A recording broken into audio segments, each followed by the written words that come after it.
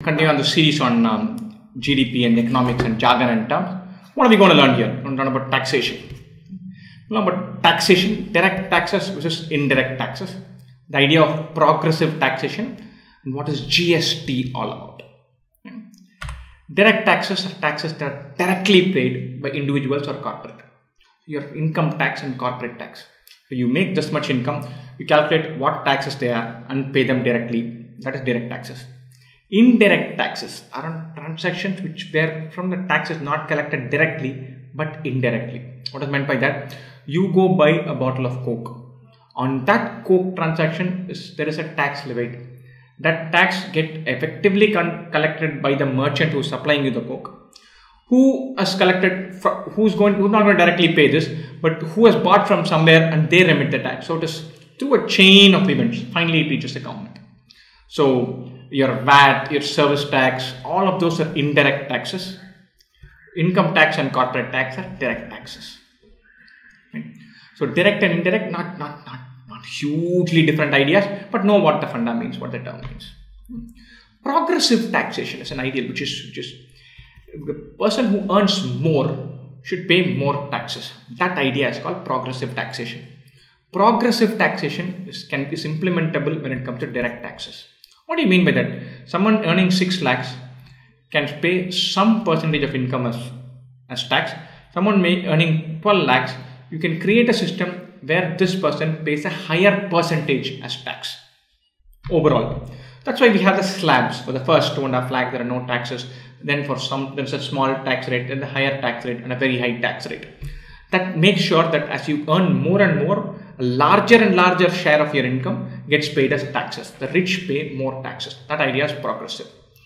However, if coke, uh, a tax is levied on coke through indirect taxation, you cannot say someone is buying a bottle of coke oh you seem to be a poor guy so we'll collect less tax from you you are rich we'll collect more tax on coke consumption from you that's impossible it's levied on a transaction on a good or a service that is bought so that there the income level of the person buying cannot be featured. So that is not progressive. Direct taxes are generally progressive indirect taxes less so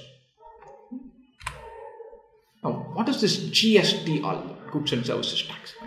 There are lots of interesting stuff to read on it do read up on it. I'm going to give you the broad outline the theme.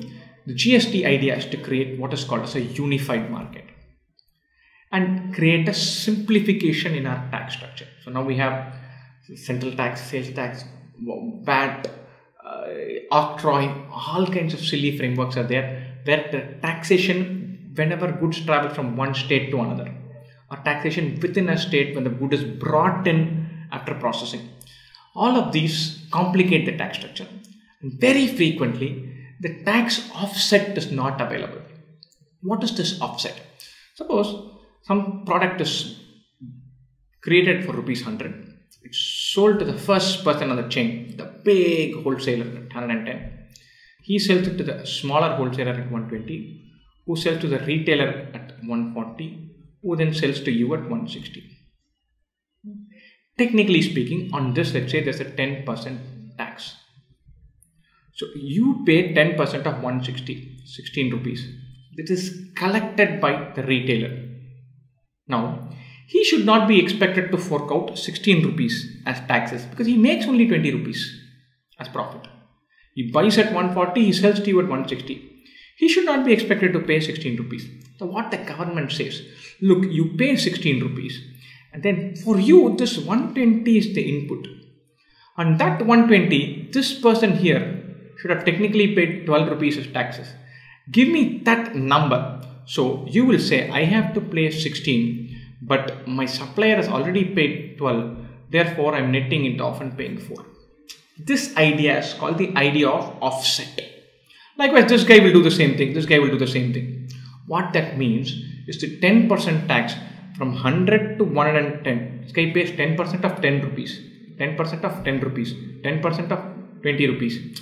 So you effectively end up paying only for the value you have added and not for the price that is transacted. That is the system, that is the script, that's the ideal. But the offsets are not synchronized.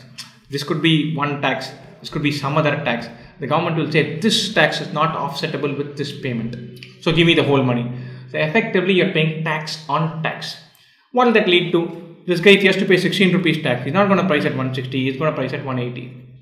So the end price is higher. The collection becomes tougher. There's more tax evasion systems that come in. So the government is saying we'll simplify everything. We'll have GST. Everything will be under one banner. There'll be what is called a CGST, CGST, SGST, and IGST. Central, state, and integrated. For transactions within a state, across two states, within a state, subsequently sold later on. So for all of these, there are different systems of, computing. Read up on those. I'm just going, as I said, I'm going to give only the broad overview. What is the the, the all of the trade agreements that you hear about NAFTA, TPP, etc., etc. All of those are about one idea. There is reducing trade barriers worldwide. So India is a unified economy. The massive advantage of building a business in India is you build a business in India, not in, in Karnataka or Assam or Tamil Nadu. So you don't have to worry about a tax burden of selling something in Maharashtra, even if you have produced the good in Tamil Nadu. So that's the beauty of having a large unified market. However, our states have imposed myriad taxes and made life difficult for each other. They're protecting their domains every now and then. And that increases the trade barriers of selling across the country. So this is about unifying the tax regime and saying, look, this is the system the entire country will follow. Don't you don't have any freedom to impose your own taxes in between is what the center is telling the states. Hmm? What will be the states issues here? States will say look all this is fine but if my revenue shrinks then i cannot run my state. The government central government is saying look we'll create a mechanism where your revenue revenue of each state tamil nadu and andhra and kerala and karnataka will remain more or less the same. Whatever you are earning pre gst your income post gst will continue to be like that. So don't worry, we're not taking money away from you. That's what the central government is trying to communicate. What if we bring all this and the central government loses money, where the entire country's tax revenue shrinks, and we can't run all our schemes. they're doing a lot of computation, and then they're going to come up with what they call an RNR, revenue neutral rate. So whether the GST will be 18% or 19% or 20% will be based on that revenue neutral rate. So that the government revenue doesn't shrink, individual states revenues does not shrink. That is the idea here. We unify this, we simplify this, we provide offsets for everybody under one system. If once we implement this, tax evasion should reduce, consumer prices should be lower technically, but that may not happen. Taxing system could be simplified, and trade barriers will be removed. So it sets up the economy, for future growth. It's something that simplifies stuff. It's like cleaning up your house. It's not going to create new growth. It's a taxing system. It's not a silver bullet where it just says, oh, now GST is there, we'll grow faster. That won't happen. But it simplifies life. Right? Uh, even otherwise, India has a fairly onerous tax structure. Because our tax net is narrower, our tax rates are higher. The country is beginning to think about changing those hopefully it will be in place where, where the few people who pay tax don't end up paying such extraordinary high amount of taxes, which is happening in India. So once the simplification is there and the net is broadened, maybe the tax rate can come lower. That will be a good thing.